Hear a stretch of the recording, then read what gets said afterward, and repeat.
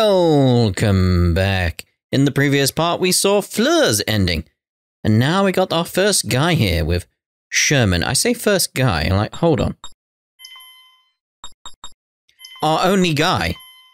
Sherman. I wanted one with Galdo. Oh well. Anyway, Sherman. おい、シャルマン。俺とお前は友達じゃねえし、お前のことはムカつく。 いろいろとな。でも、お前の力は信じてるぞ。Th- This is Sherman's route. This is Sherman's ending. And that's how it starts. Okay. そうですね。僕も君のことは理解しがたいですが、信じていますよ。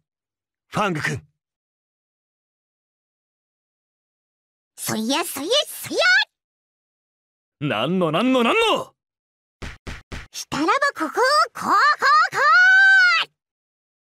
Well, maybe, just maybe, Sherman's ending includes all the guys. Considering we've got Apollonius and Pippin here already. Amai!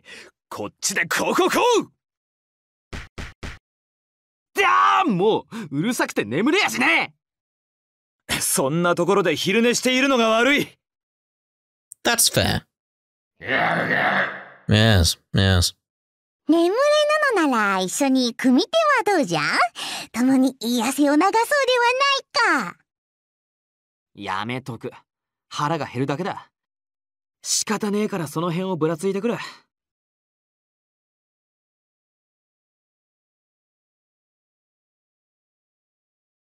お？なんか珍しい組み合わせだな。一緒に買い物か？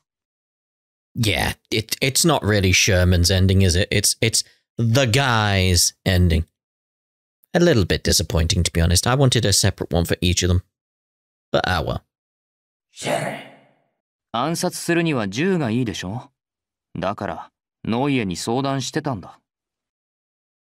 ナイフに関しては、イブフリートの方が知識があるからな。どれが刺しやすいか、おすすめを聞いていた。昼下がりの買い物とは思えないくらい物騒だな、お前ら。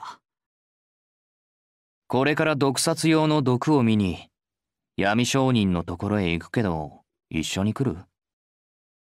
え、いや、やめとくわ。